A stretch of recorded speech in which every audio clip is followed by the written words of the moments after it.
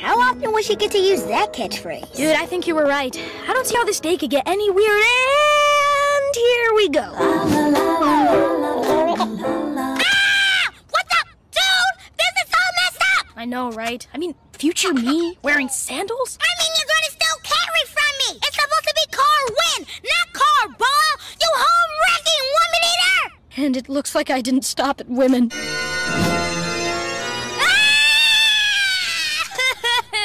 I agree. Always thought I was the one wearing the pants in this relationship. What is going on? this mess has got Sarah's name written all over it. How do you know?